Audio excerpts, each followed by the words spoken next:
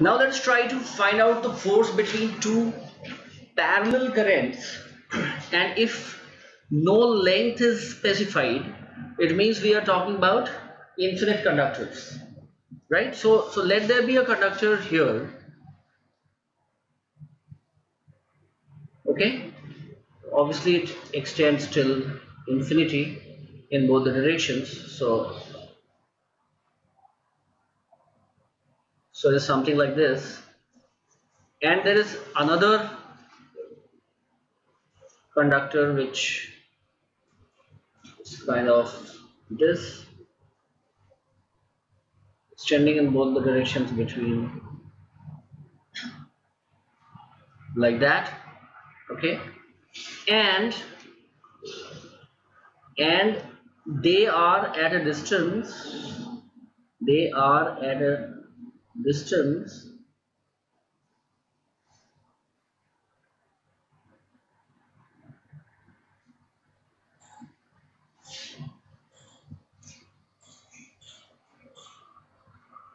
d. Okay? Let us say one of this is carrying a current let this conductor be a this conductor be b and and let this be carrying a current of of ia and let this be carrying a current of magnitude i b. Okay? Both in the same direction.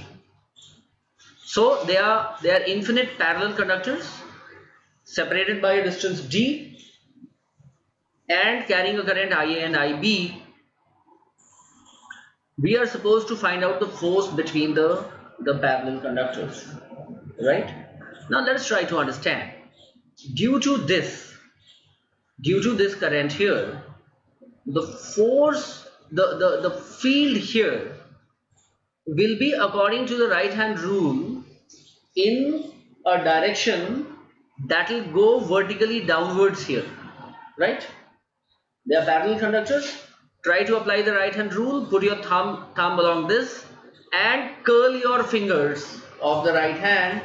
It will tend to pass this in the downward direction. So so you have you have the the field here as this in the downward direction. Get that? And what is this field equal to? So this is b what is this field equal to? This field is equal to mu naught i upon 2 pi d. Is it not? The current at a distance r from an infinite conductor the the field at a distance r from an infinite conductor can be found out by the ampere's law. And we had found out found it out to be equal to mu naught i by 2 pi d. Correct? So so and and since the current here is not i rather ia so i write it as ia right? Correct? Now the current in this conductor is the current in this conductor is is in this direction. So so i should not have overlapped them. The current in this conductor is in this direction okay?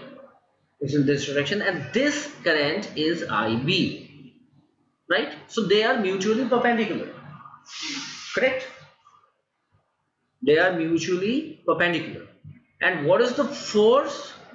What is the formula for the force? F is equal to when when you are given i and and l and b. What, what is the is the i l cross b?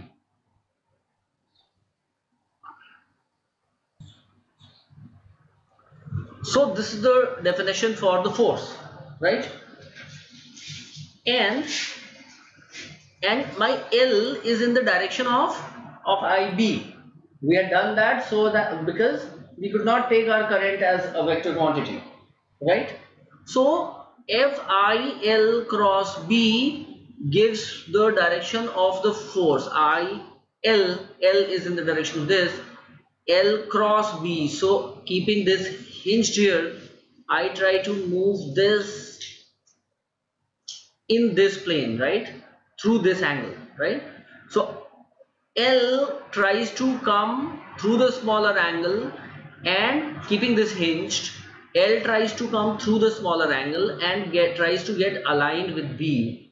Now looking from this direction this is a clockwise movement. So so so and if I move a right-handed screw in the clockwise direction it will move like this. If, if this was a board then it will move into the board. So the force direction is is this okay this is the direction of the force. Do we get that?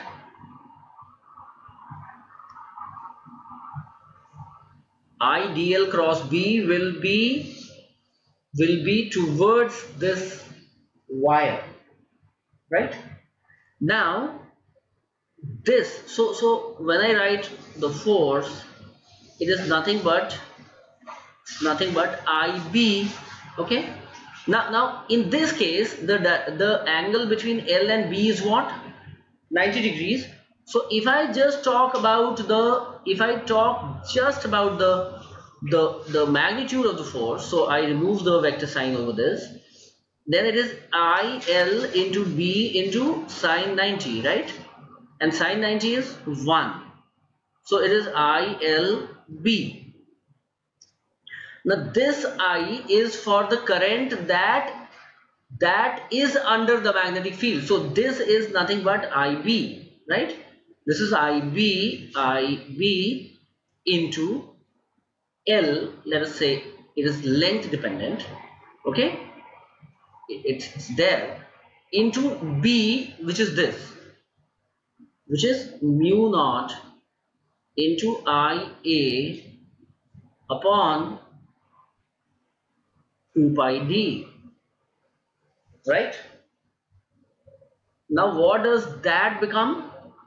That is nothing but mu naught into ia into ib mu naught into ia into ib into l upon 2 pi d. I i drop the vector sign here. So so I, I do not need it. Why? Because i am moving in the domain of of the magnitudes after having pretty well established the direction of the force. So I, uh, it's not that I do not know the direction of the force, right? We know the direction of the force and it is this. Uh, it, it is attractive in this case. So force per unit length. Okay, force per unit length is mu naught Ia Ib upon 2 pi d. Right? And this we denote by a small f. Any specific quantity is normally denoted by a small letter. So number of electrons per unit volume is represented by small n. Okay? If you want to represent the absolute number it can be represented by capital N okay so where, wherever it is something per something. Okay? The normal convention is to switch to a small letter. So I denote this by small f and it becomes mu naught into IA into IB upon 2 pi d. Right? This 2 pi D.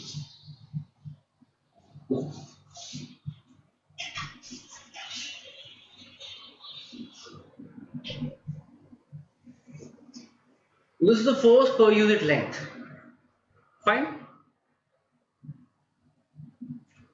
This is the force per unit length. Before going ahead, I'd like to tell you something. That in this case, in the case of currents, parallel wires, wires moving moving parallel to each other what happens is what happens is the light if the direction is the same the force is an attractive one. Okay? So you can say here it is something opposite to what we had seen in the in a in the electrostat. Here the likes attract. This is only a mnemonic right? This is only to aid you in quickly getting the direction of the force that is all.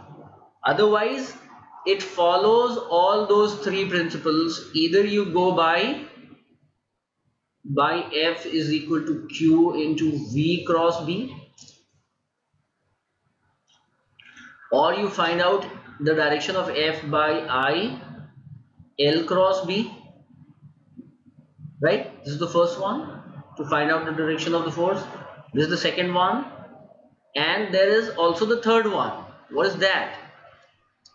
What is that? The the Fleming's left hand rule. Left hand rule. You apply any of these three you'll immediately get the direction. Okay so so it is not some different science that i'm talking about. I am only talking about a mnemonic that will help you quickly arrive at the direction. So if the currents are going in the same direction that's what i'm calling lights. There instead of repelling as it does in electrostatics it attracts and unlikes that means anti-parallel currents they'll attract. Unlikes unlikes will repel right so if if this current was in this direction correct so so let me let me kind of just do that if the current ib was in the opposite direction so had the direction been this right then l cross b would have been in this direction no you see that? Because seeing from here it would have been counterclockwise. Had it been counterclockwise it would have come towards you. So it would have, it would have, it would have repelled. Correct? It would have repelled. So when you are dealing with parallel currents, this is what happens. correct right